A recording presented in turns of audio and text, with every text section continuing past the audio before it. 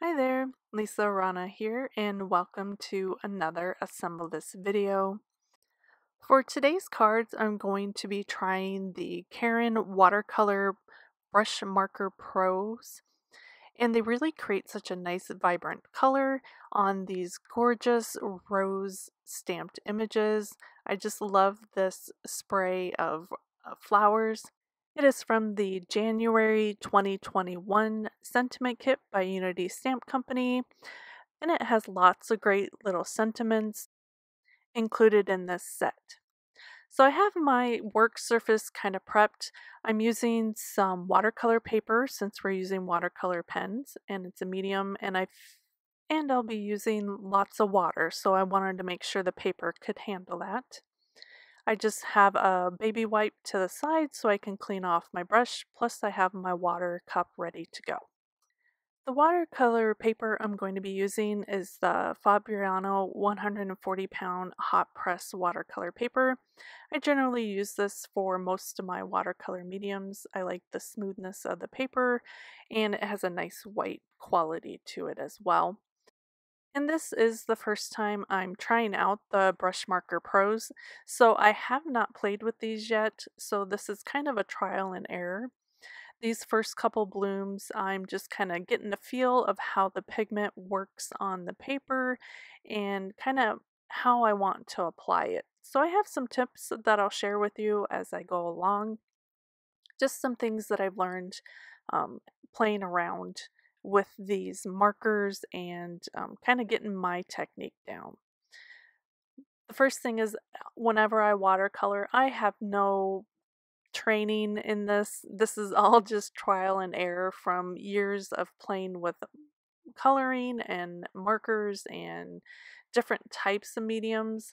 So I have my own method of watercoloring. It's probably not what most watercolor artists would use, or maybe it is. I have no idea. This is just how I've made it up over the years.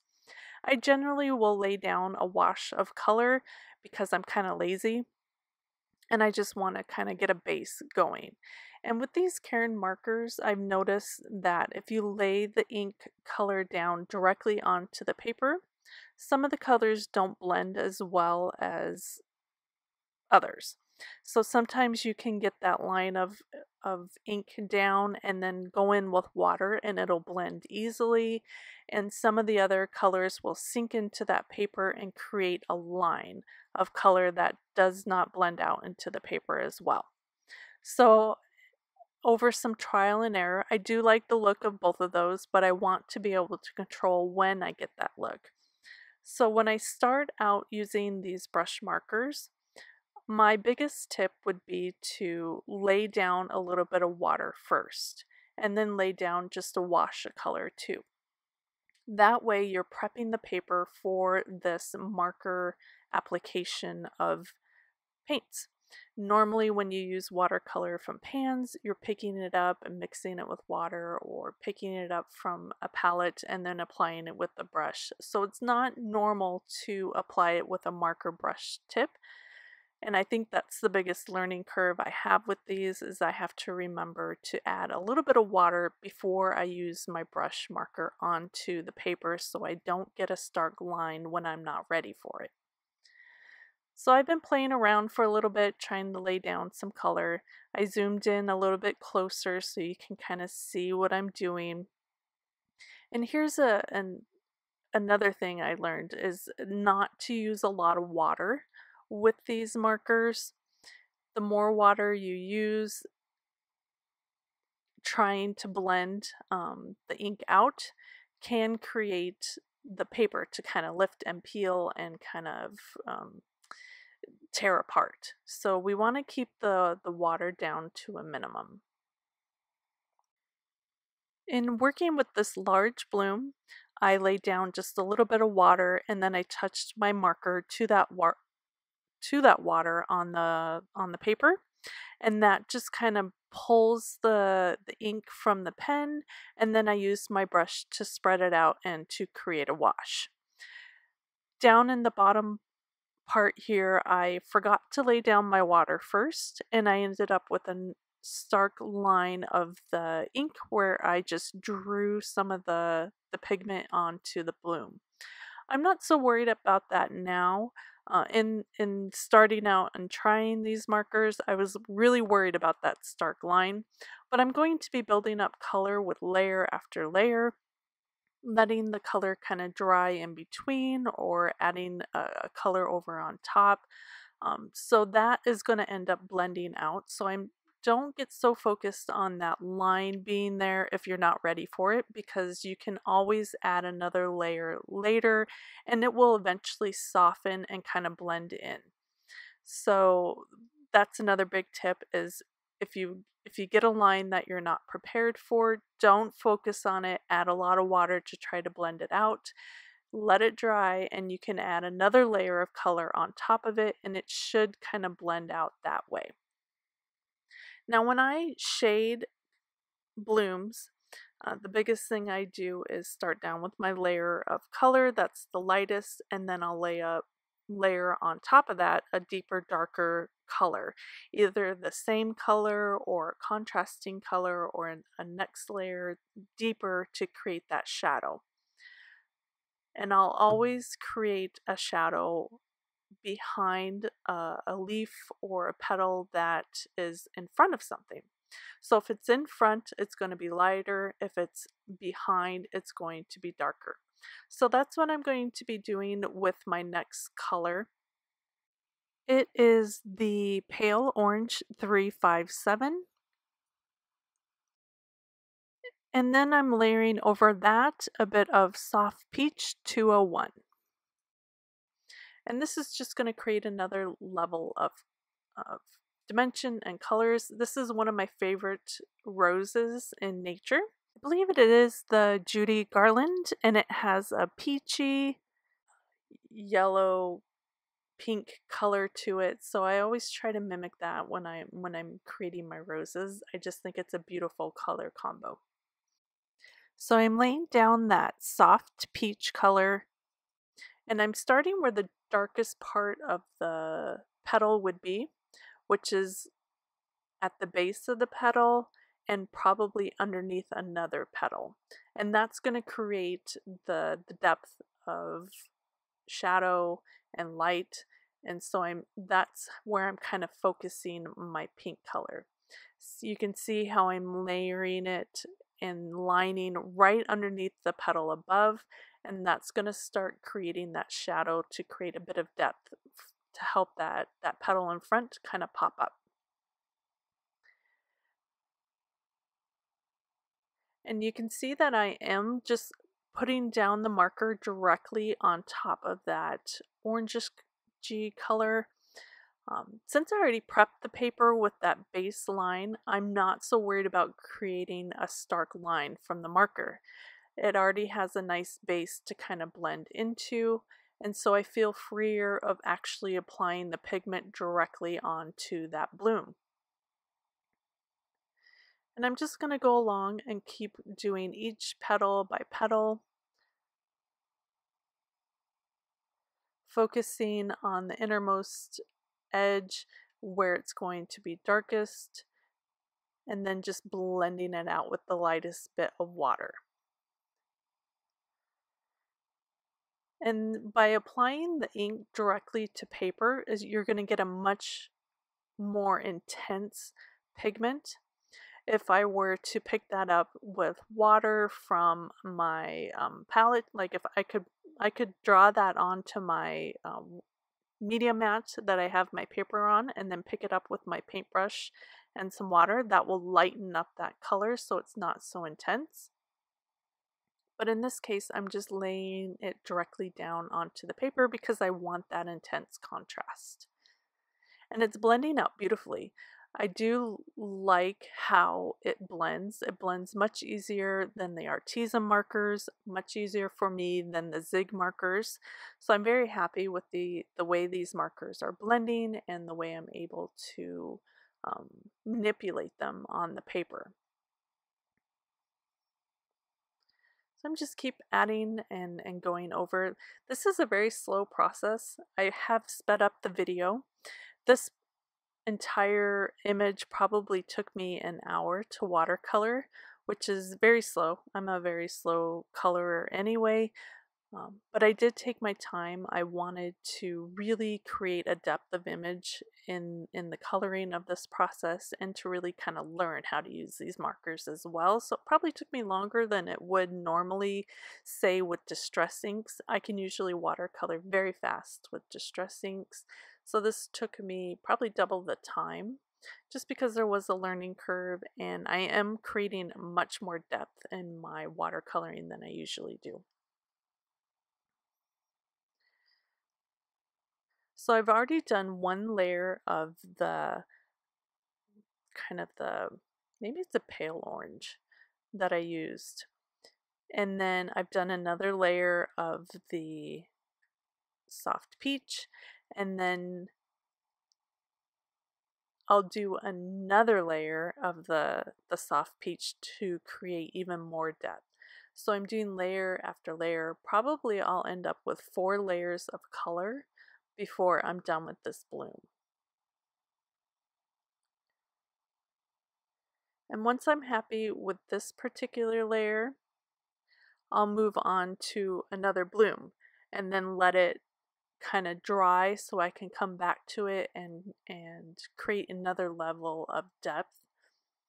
But I want it to dry in between so that pigment will kind of layer on top of the previous layer.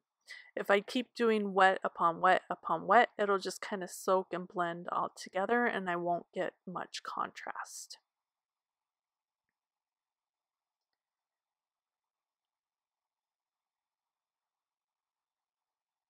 Just noticed that there was a tiny little bloom just starting down here, so I added a little bit of color to that.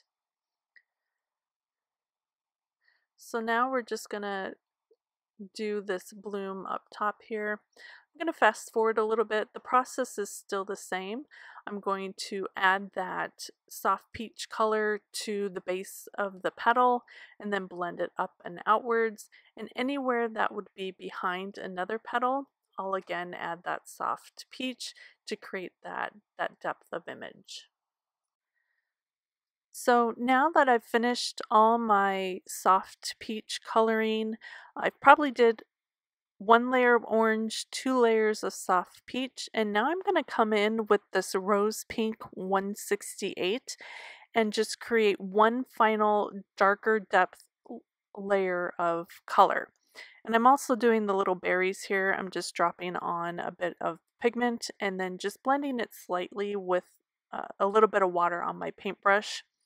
As I moved along through this image, the amount of water on my paintbrush kept getting less and less. I felt like I had much more control with a less amount of water. So for this application, I want to have even more control over the depth of that pink color. So I'm picking it up using my paintbrush directly from the brush marker. And this way I can get an, an intense color and then apply it to the paper using my paintbrush. And I feel like that was a nicer blend. It is a starker contrast, so you'll see that sit on top of the the peach color a bit more and it'll create a nice shadow for me. And I like the pink color as well. It's pretty vibrant and that is what I'm using to create the deepest, darkest part of my shadow so I get a little bit more of that 3D look in my image. Next we're just going to color in these leaves. I used a combo of three colors. I have a sulfur yellow, which is my lightest color. My cap did not have the the number on the, the lid, so I don't know what the number is, but the color is sulfur yellow. And then I'm using a lime green 071 for my medium tone, and then an olive green 281 for my deepest, darkest uh, shadow color. Again, using the same process of laying down a nice layer of color, put down a little bit of water, touched my marker to that water, and then spread that out with my paintbrush. I also use the method of picking up the color from my marker with my paintbrush by touching the end to the pen. I do like that process. I started using it more and more as I went through coloring this image. I just felt like I got a nice intense amount of pigment uh, rather than laying that ink directly down onto the paper. Another couple tips with these markers, I found that I did have to be careful and pay attention so I didn't drop them. I, I tend to drop things if I'm not um, being extra careful, so be mindful of that when you're coloring. I'm more used to having a palette to the side and um, I'm kind of clumsy, so I did tend to drop it a few times. I got a little bit of pink on the corner of my paper, which I'll end up trimming off later. Um, I did drop a pen directly into the center of one of my blooms, but it blended out luckily, so it was it was okay in the end. The other thing I would recommend is to put your caps on the end of your pen. The barrel of these pens do not have numbers, and so um, as I left all my caps on the tabletop, I wasn't really sure which pen cap went with which barrel. So take your cap off, put it on the end of your barrel so you don't run into that problem. For this um, background, I decided to take this pretty blue, I think it's Cool Aqua 204. I scribbled it down onto my media mat and then picked up a good amount of water to lighten that up. I really just wanted a light wash and I picked that up with my paintbrush and then just did a light wash around the the roses. It's one of my favorite ways of to of creating a bit of pop behind that that image is with a nice cool light blue. And then I'm just adding a bit of Wink of Stella. I let my my watercolor panel dry completely. I ran that through my die cut machine so I had a nice flat panel and then I added that Wink of Stella. And now I'm just going to build my cards up. I'm keeping it fairly simple. I just think the watercolor of this image is so pretty. I don't want to take away from it. So I'm just adding some strips of pattern paper that I thought accented my panels of watercoloring and just putting a strip down the sides of my cards. It's probably about two inches and then I'm just trimming those off to match my card fronts. I'm using a few doily edgers uh, to die cut my watercolor panels.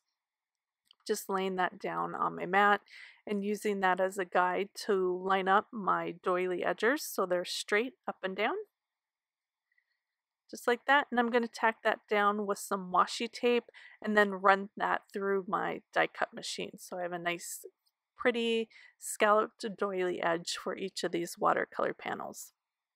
What I love about these floral blooms is that they can go either direction. And I thought about flipping the colors here, so I just flipped them around.